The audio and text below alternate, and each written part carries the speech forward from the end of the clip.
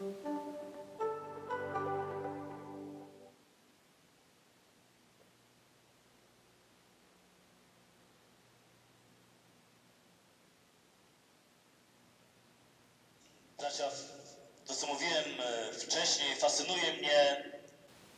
to, čo som už predtým povedal, fascinuje ma. To, ako Pana Mária vyberá určité osoby, ktoré majú vplyv na zmenu histórie tejto planéty. A tu nejde o, o to, aby sa obrátil celý svet, alebo celé Polsko. Lebo o to tu vôbec nejde. Lebo celá tá história ekonomie spásy, história ekonomie lásky ukazuje to, že Boh chodí pomedzi ľudí a pozerá sa do tvári svojich ľudí, do ktorých sa zalúbil, ktorých si stvoril pre seba. Kto príjme tú výzvu vplyvu zmeny na tejto planéte, kto príjme túto výzvu a podstúpi tento duchovný boj, a to proti celému peklu a s pomocou celého neba, aby mal ten vplyv na duchovné zmeny, na fyzické zmeny na tomto svete. Jednoducho povedané, Boh hľadá človeka pokánia. Túžbou Boha je, aby všetci činili pokutował. Ale realita je taká, že nikto nechce činiť pokánie, boli, lebo to zawsze stojí to námahu, lebo sa treba zaprieť, zaprieť seba samého. Ale na to všetko, viete, kde je problém? Problém je v tom, že my nemilujeme. Nemilujeme až tak veľmi Boha. Nemilujeme až tak veľmi Máriu. Aby sme zo všetkých síl na maximum išli za ňou a splniť všetko to, o čo nás ona prosí. Lebo máme v sebe málo lásky. A preto sme sa modlili túto modlitbu, aby Boh vložil do našich srdc svoju lásku, ktorú On má k nej, lebo vtedy pre teba nebude nič nemožné. Ako hovorí Natuca Elolo, stigmatička, ktorá už zomrela. Jedna z úžasných postav histórii církvy. Hovorí, že keď podľahneš tomuto Marijinmu šarmu, tak potom bez problémov splníš všetko to, o čo ťa ona poprosí. Dokonca pôjdeš až do ohňa, do vody, ak podľahneš jej šarmu, ak ju začneš milovať celým srdcom a príjmeš jej lásku. A jeden človek, ktorý odpovedal celým svojim srdcom na jej volanie, to, ako ona ho viedla k jednej modlitbe. A to mala niekoľko minút a zachránila celú planétu. On hľadá jednotlivé tváre a pýta sa, či si ochotný. A ona tiež hľadá jednotlivé tváre, jednotlivé mužské srdcia. A pýta sa, či chceš byť celý môj. A ja budem celá tvoja. A spolu zmeníme tento svet. Dávaj pozor.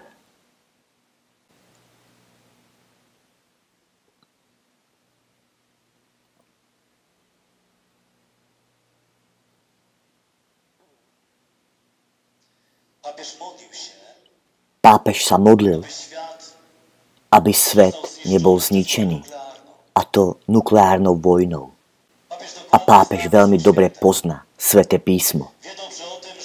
A vie dobre o tom, že na veľa rôznych miestach vo Svetom písme sa píše, že posledný súd pred koncom sveta bude súdom ohňa, že oheň dopadne na zem. A Mária hovorí veľakrát vo svojich zjaveniach o tomto súde ohňa. A hovorí o tomto súde.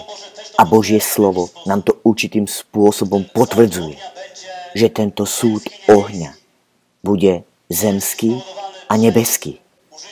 Na zemi bude spôsobený použitím zbrane, ktorá je hrozná.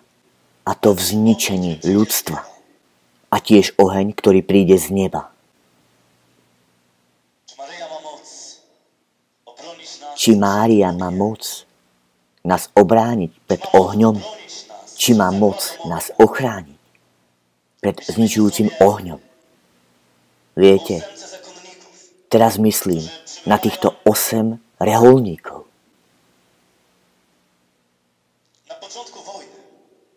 ktorí prichádzajú na začiatku druhej svetovej vojny do Japonska a zakladajú také kláštorné centrum, stavajú kostol a celé ich srdce je preniknuté tým, o čom hovorí Panna Mária vo Fatime. Začínajú hlásať a kázať o pokáni, o tom, aby odozdať svoje srdce a obetovať ho Márii. A to v maličkých umrtvovaniach, odriekaniach. O tom, aby celým srdcom sa ľudia odvrátili od zla. O obrovskej moci rúženca a sami sa ho modlia spolu s ľuďmi, ktorí ich počúvajú, hoci ich je málo. Ale modlia sa, plniac to, o čo Pana Mária prosí. Z hodou náhod z blízkeho mesta Nagasaki začínajú prichádzať ľudia, ktorí sú zvedaví na to, čo hlásajú títo reholníci a začínajú sa pripájať k tomuto posolstvu Panny Márie. A vracajú sa do Nagasaki a začínajú tam v svojich domoch sa modliť rúženec. Oddávajú seba v obetu Pane Márii, tak ako to vedia, činia pokánie. i pamiętacie A pamätáte si, 40 a pamätáte si, 6. august, 45. rok,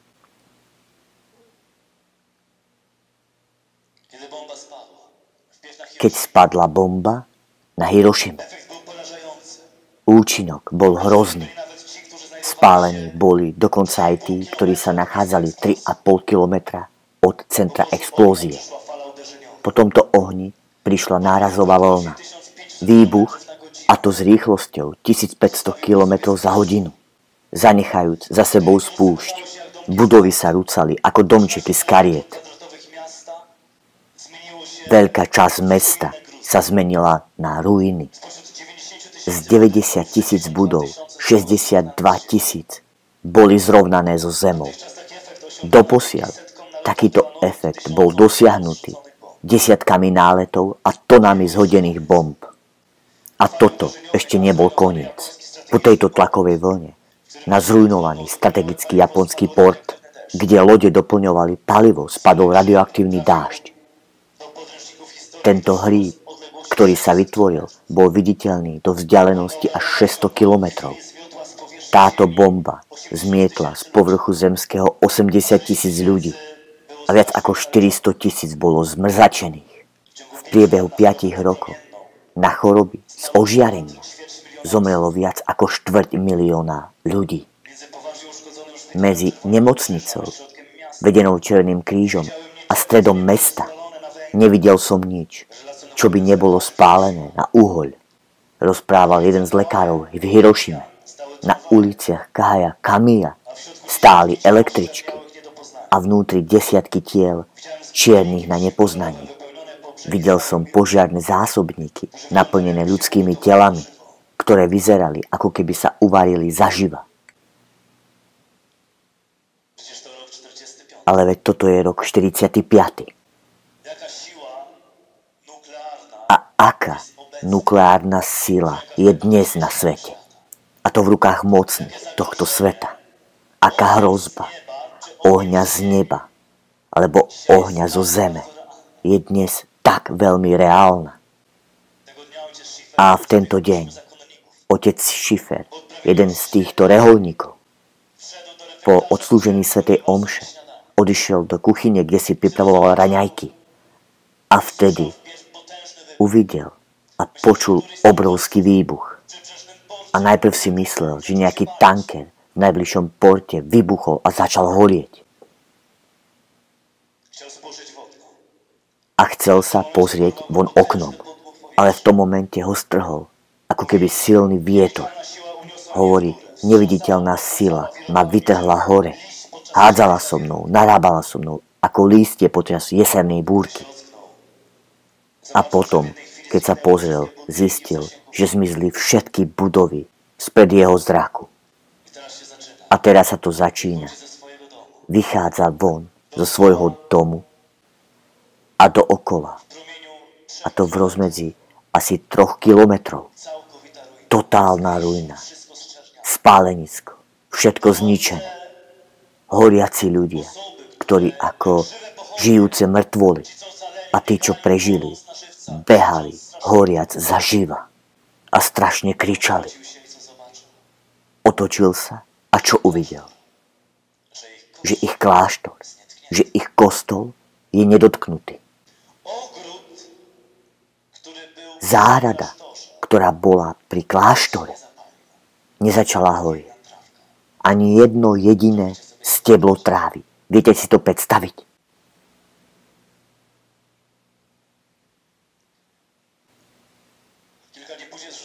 A o niekoľko dní bola zhodená bomba na Nagasaki.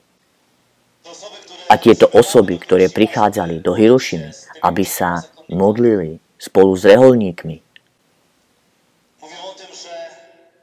hovoria o tom, že deň pred výbuchom bomby prišli do ich domov nejakí neznámi muži.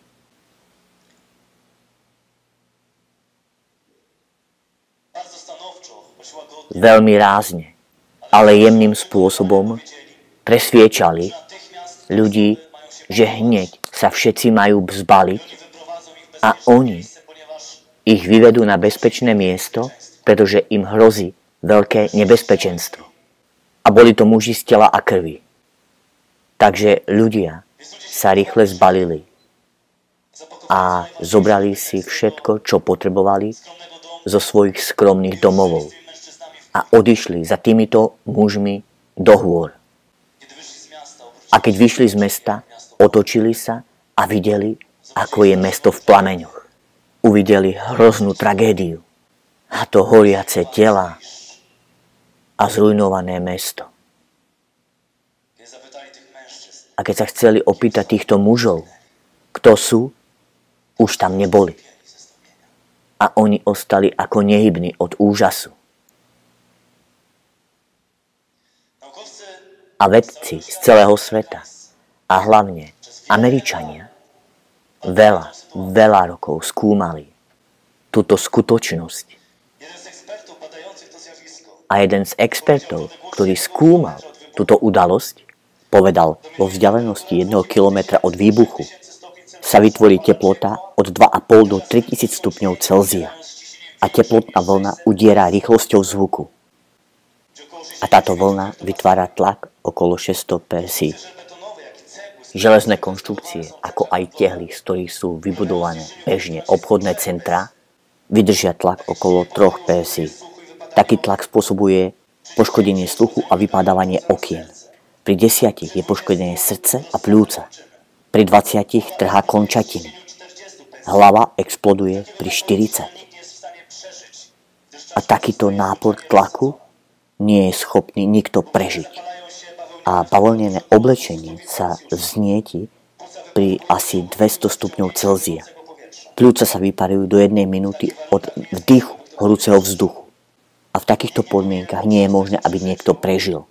A nikto nemôže prežiť, a to do vzdialenosti 3 kilometrov. A to od epicentra výbuchu bomby. A otec zakonnicy a jeho bratia, reholní bratia, boli skúmaní vedcami asi 30 rokov. A to viac ako 200 skúmaní. Rôznymi lekármi, ktorí si nevedeli vysvetliť ich prežitie. A otec Schiffer s úplným presvedčením až do konca života tvrdil, že ich zachránila Pana Mária. Prežili sme, lebo v našom reholnom dome sme žili fatimské posolstva. Činili sme pokánie a modlili sme sa každý deň rúženec.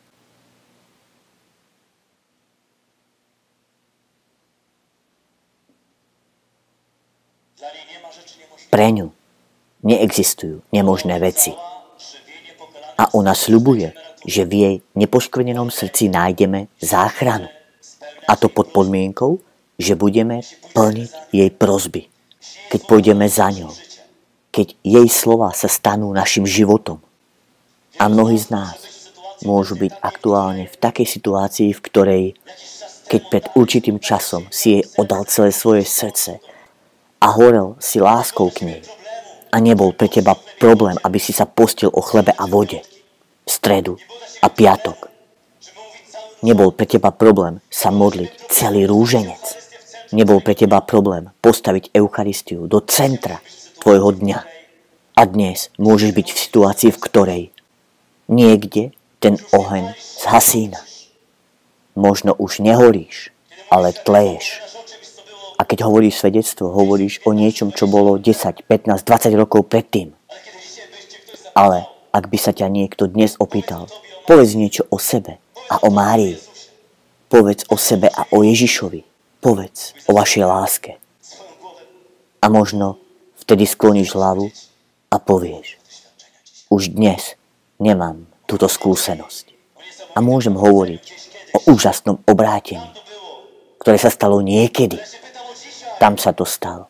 Ale ja sa pýtam, čo dnes? Či dnes máš ten zážitok príchodu Boha k tebe? Či máš dnes ten oheň, ktorý horí? Či to máš dnes?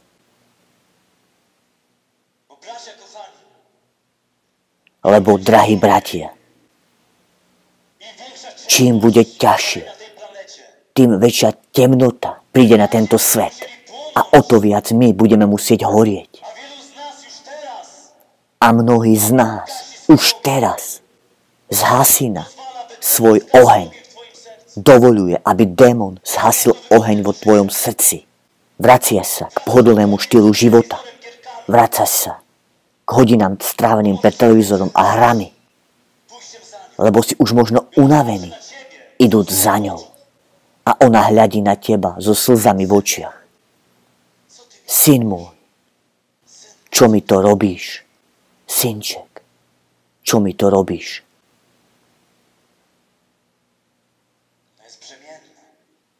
A ona je tehotná. V knihe Apokalypsy.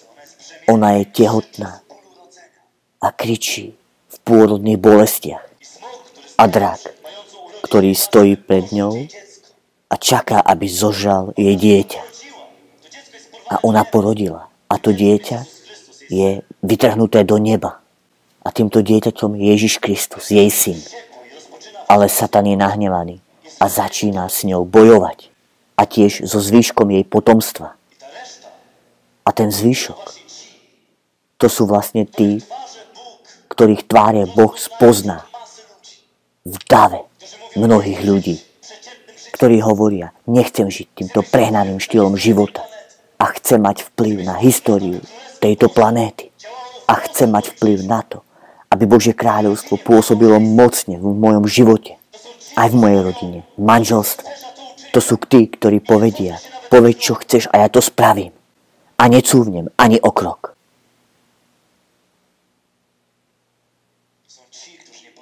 A to sú tí, ktorí nedovolia, aby dnes tleli. Lebo nemôžete si dovoliť dnes iba tlieť. Rodiny všade sa rozpadajú. Epidémia rozvodov, manželstiev. Hovoril som vám o tom dnes. A to v čase pandémie je o tretinu viac rozvodov. Trikrát toľko ako pred pandémiou. A nemáme už síl. A veľa z nás došlo až do toho stavu, že zhasili svoj oheň. Bratia, Zhasili sme oheň. A dokonca môžeme byť tu dnes, v tomto kostole. A naše srdcia sú už mŕtve. Môžeme byť tu v tomto kostole a spievať Božia rodička. A zároveň mať smrť v našich dušiach.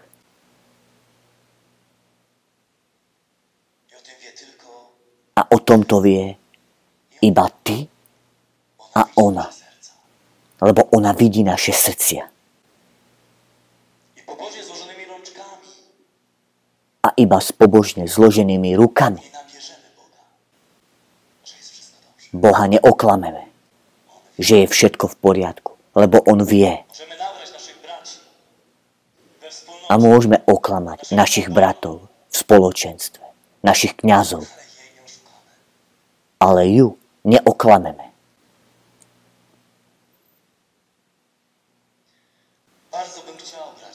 A veľmi by som si prial, bratia, aby v tomto mesiaci jej zasvetený, każdy z was aby každý z vás na novo rozpálil tento obrovský oheň lásky, ktorý je smerovaný úplne k nej. Aby tento oheň na novo začal horieť, pohltiť tvoje srdce, jednoducho zhltnúť, vytrhnúť z teba to všetko, čo je zlé. Tie všetky závislosti, to všetko, čo spôsobuje, ako hovorí Apokalypsa, že žiješ, ale si mŕtvy. Hovoríš, že žiješ, ale si mŕtvy.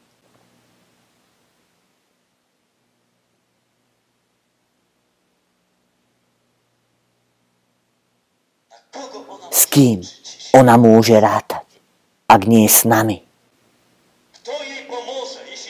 Kto jej pomôže, ak nie ty?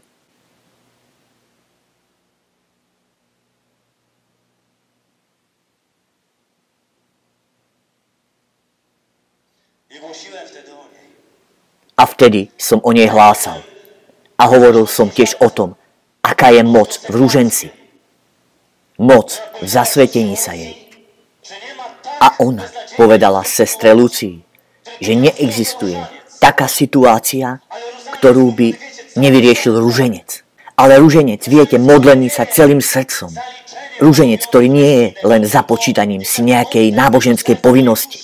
Musí byť ako oddych môjho srdca, mojej duše, keď ja nepočítam desiatok, ale on plinie celým môjim dňom tento rúženec.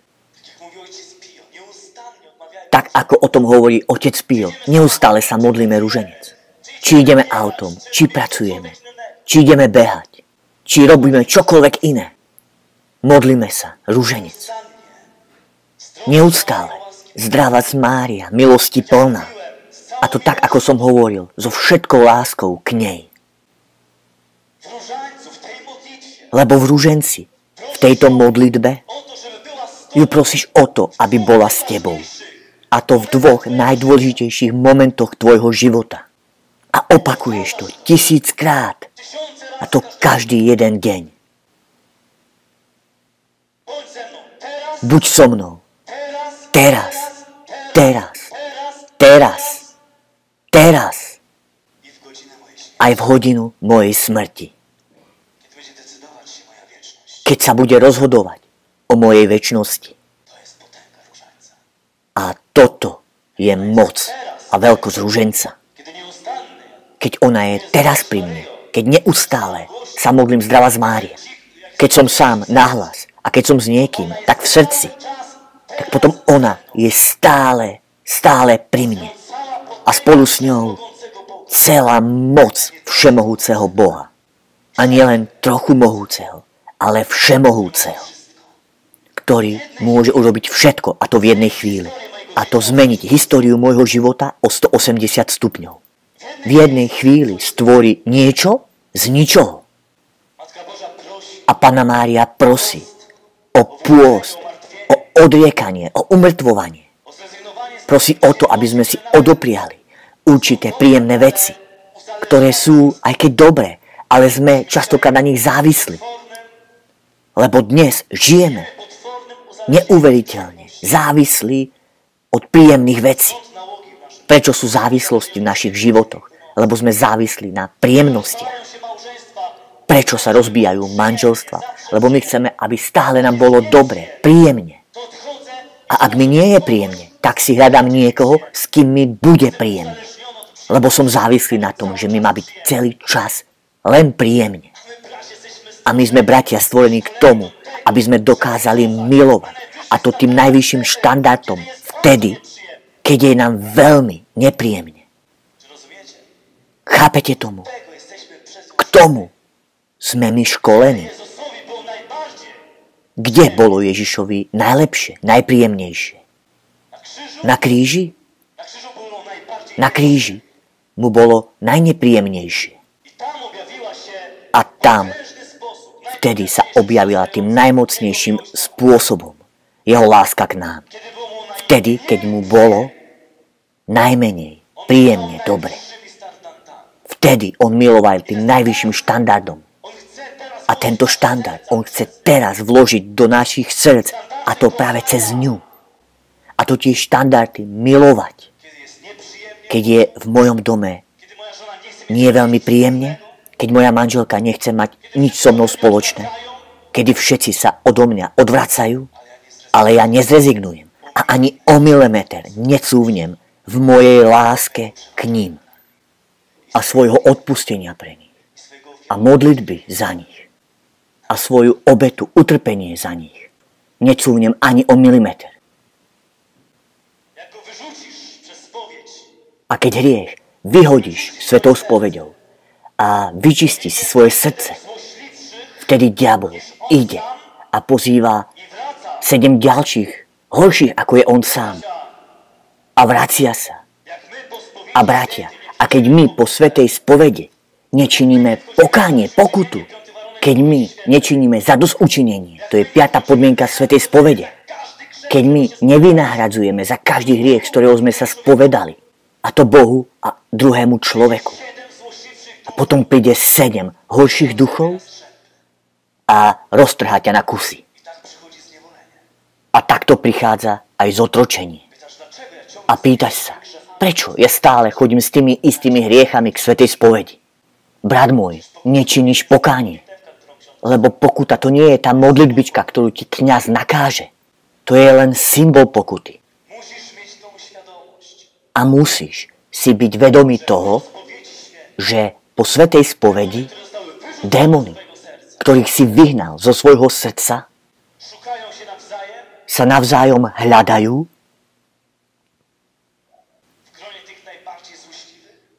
a to tí najhorší, aby si naspäť zobrali to svoje. Čiže teba.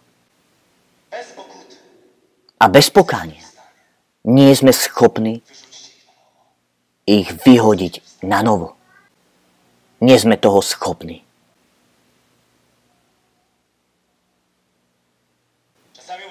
A viete, niekedy utekáme od toho, čo je pravým pokáním v našom živote. A čo môže byť tou skutočnou oblasťou nášho obrátenia v našom živote. Utekáme robiť niečo, čo nie je označené Bohom ako naše pokánie, ako oblasť našho pokánia. A viete, niektorí majú radi utekať z domu, a to do kostola, aby nestrávili ten čas budovania vzťahov, a to večer so svojou ženou alebo svojim dieťaťom. Niektorí radšej budú utekať do práce, veď predsa ja zarábam peniaze pre teba. Ale čo máte z tých peňazí? Keď nemám ja teba, ty mňa, nemáte jeden druhého. Keď žena nemá teba muž, keď dieťa nemá teba otec. Tak čo máme z tých peňazí? A viete, a niektorí budú aj chodiť všade po všelijakých stretnutiach. A to len preto, aby neboli doma so ženou a s dieťaťom.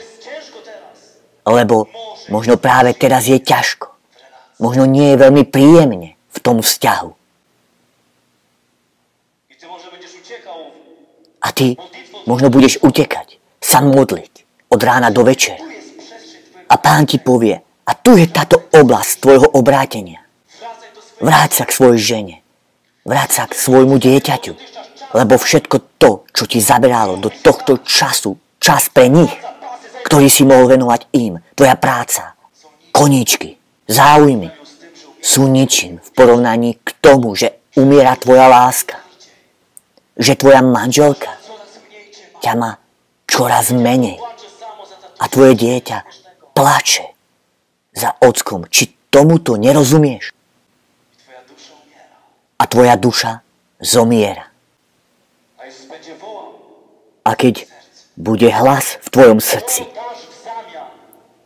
za, čo vymeníš svoju dušu? za čo vymeníš svoju dušu? Máme iba jeden život. A v každej chvíli môžeme zomrieť. A toto môže byť naša posledná sveta omša.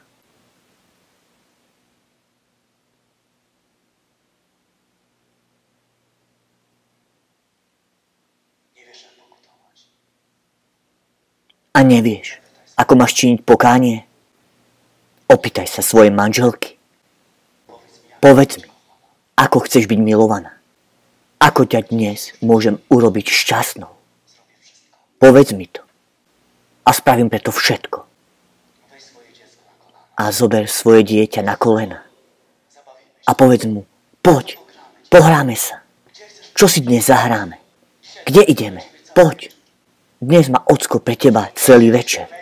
A hoci by si mohol sedieť na internete, pozerať seriály, Netflix, filmy.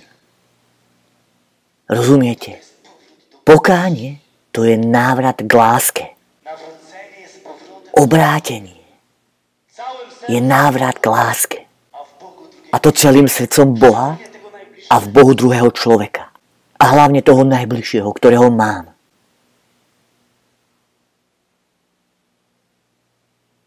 Ale ja nie mam siły Ale môžeš povedať, ja nemám síl, ale ona je tvojou silou. A zober ju za ruku a popros ju, aby ťa priviedla k pravému przestrzeń Aby ti ukázala tú oblasť tvojho osobného pokánia. V akej oblasti sa máš celým srdcom obrátiť. A kde a od čoho sa celým srdcom odvrátiť.